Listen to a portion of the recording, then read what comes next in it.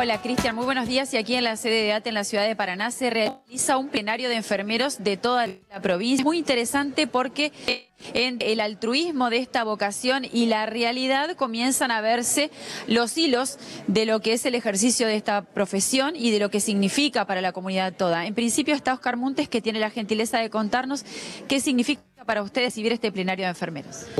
Hola, días. Sí, para nosotros muy, pero muy importante, no solamente hablar de los compañeros y compañeras de enfermería, por lo que significan para la comunidad, lo que fueron y lo que, y lo que son, y el reconocimiento que tienen, sino es cómo hablamos de la nueva ley, cómo trabajamos en la reglamentación, pero fundamentalmente del derecho de los trabajadores y trabajadoras del sector de enfermería. Derechos que vienen reclamando y demandando hace mucho tiempo. Nosotros hoy en el plenario se va a debatir mucho, se va a construir una agenda. Vamos a traer herramientas para seguir trabajando porque lo fundamental es cómo trabajamos en conjunto para seguir avanzando sobre los derechos que tenemos la enfermedad que no en la realidad que necesitamos. ¿En la paritaria ellos tienen un trato diferencial o forman parte de la generalidad de los trabajadores? No, no, forman trámite general de la paritaria general. Esto en diferenciación puede ser en el salario, pero se compensa luego en la cantidad de horas que hacen, que en definitiva terminan percibiendo menos salario que el general, porque trabajan 8 horas por día,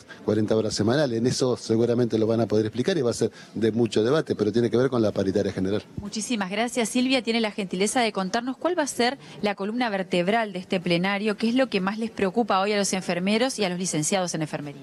Hola, ¿qué tal? Buenos días. La idea hoy del encuentro de enfermería es que participe toda la provincia, por eso nos encontramos con enfermeros de, Federación, de Federal, de Concepción del Uruguay, de Isla del Bicuí, de Gualeguaychú, de Victoria, Diamante. Eh, son de toda la provincia para poder eh, trabajar en conjunto y ver las problemáticas que surgen dentro de lo que es el sector enfermería y, desde ahí poder dimensionar lo que está pasando y trabajar en base a eso que, que vaya surgiendo. ¿La nueva ley de enfermería está reglamentada? Todavía no está reglamentada en su autoridad.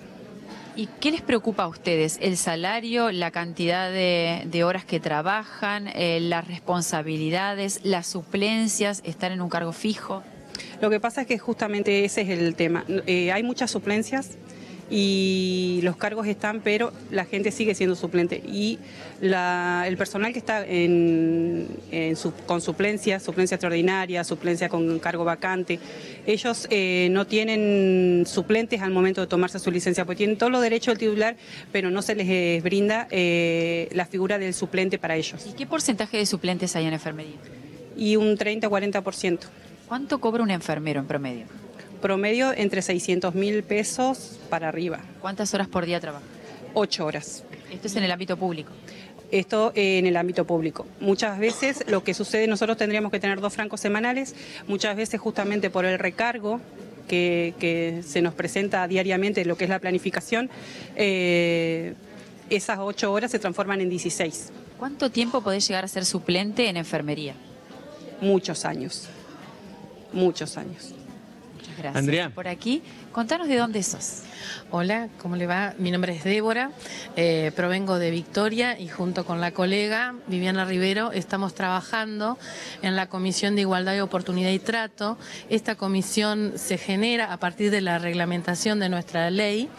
Eh, lo que vela esta, esta comisión es por los derechos y los ambientes laborales saludables para nuestros colegas. Está Cristian Bello en estudios. Cristian, te escuchamos. La consulta que quieras hacer, nosotros la trasladamos. No, quería hablar una consulta sobre Muntes, para hablar sobre Muntes, sobre un título de la mañana de hoy que habla de lo que está, va a ocurrir a nivel nacional si es que los planes del gobierno de Miley se concretan, que es congelar los sueldos de los trabajadores estatales, que incluiría naturalmente a los de salud a nivel nacional pero pide que sea generalizado a las provincias y a los privados, si ellos tienen una posición tomada al respecto, ¿no?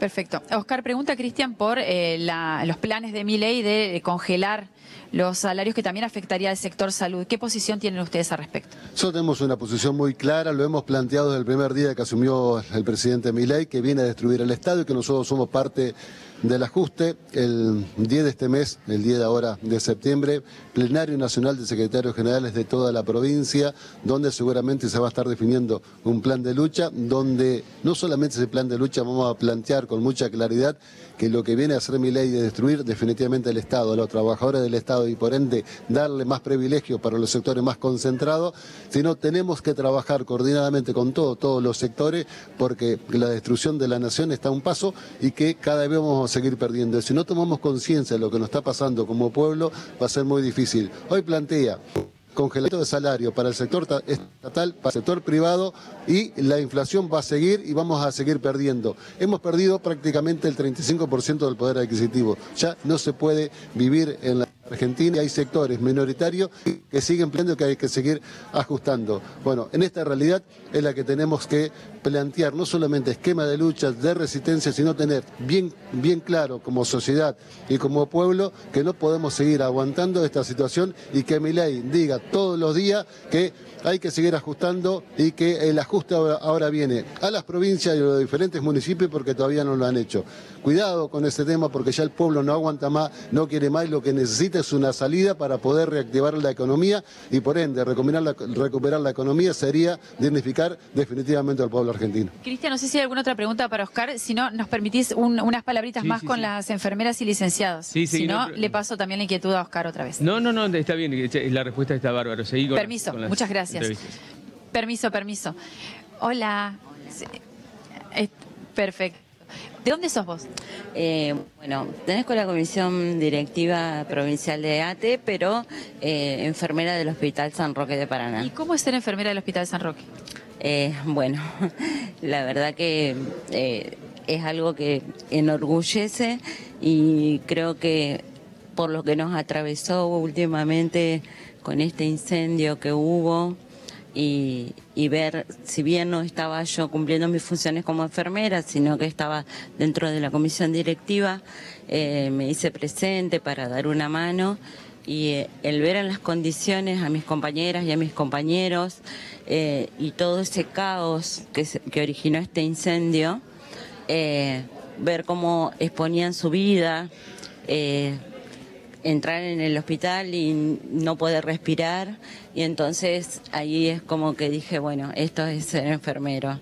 Eh, realmente es vocación. ¿Va a haber un aplauso ahora para los enfermeros? Sí, em, eh, eso va a ser, digamos, vamos a hacer una mención especial para esas enfermeras y enfermeros. Y permiso, atrás nuestro están, eh, permiso, los voy a molestar. Está Tamara, que ya la conocemos, que recibió un reconocimiento. Tamara, buen día, ¿cómo estás? Hola, buen día. Hoy venís con tus compañeras.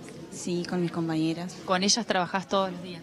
Exactamente, con ella comparto guardia, compartimos un momento. Es más, familia estaba así de guardia, ella, y se retiró de Franco, por eso es que no estuvo con nosotros de días, pero siempre trabajamos juntos.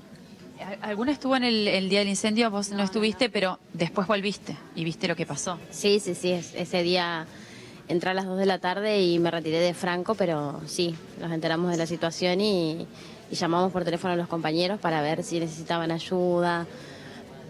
Pero la llamé a ella para avisar. ¿Es tu mamá? Es mi mamá. ¿Y todo el mundo se preocupó por ustedes? Sí, sí, sí, sí, sí.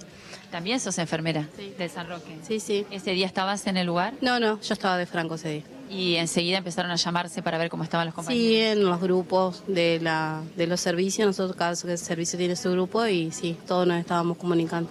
¿Por qué decidiste ser enfermera? Por vocación.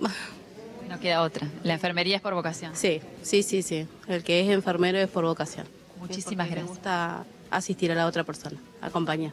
Muchísimas gracias, muchas gracias. Cristian, hasta aquí entonces se inicia el plenario de enfermeros de toda la provincia en la sede de ATE. Va a haber un aplauso de reconocimiento a los enfermeros del Hospital Materno Infantil San Roque por lo que ellos hacen todos los días, pero además atravesados por lo que fue ese incendio en el cual se valoró todavía aún más la tarea y la vocación de los enfermeros. Muchas gracias, Andrea. Es un buen momento para destacarlos una vez más, como lo hizo ayer el Consejo Deliberante de Paraná, la figura de Tamara Fontana.